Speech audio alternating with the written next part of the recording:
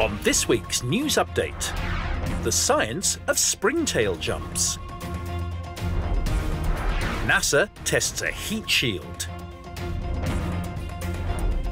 And unearthing Roman statues.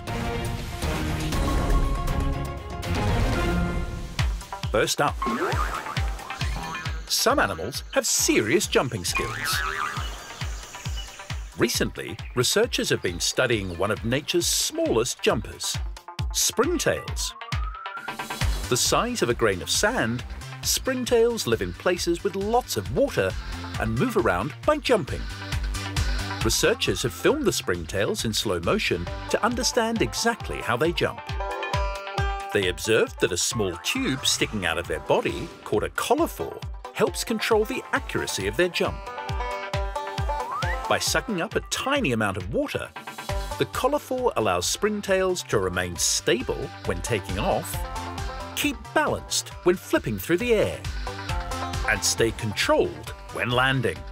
The researchers have now built a simple robot that copies the springtail's movements, helping them to further understand the springing skills of springtails. Next up, NASA is planning to send humans to Mars. But for astronauts to arrive safely, they will have to pass through the planet's atmosphere, which will cause the spacecraft to heat up to 1,648 degrees Celsius. To protect astronauts, NASA engineers are developing a heat shield to attach to spacecraft landing on Mars. Last week, a mission was launched to test the heat shield in Earth's atmosphere. As these graphics show, the inflatable, air-filled shield was released from a section of rocket. As it hurtled through the Earth's atmosphere, the shield heated up to 1,482 degrees Celsius and sensors transmitted data to update engineers on its progress. The giant shield survived the extreme heat of the atmosphere. A parachute then opened, allowing the craft to land safely in the sea. Following the successful test, NASA aims to prepare the technology for a mission to Mars.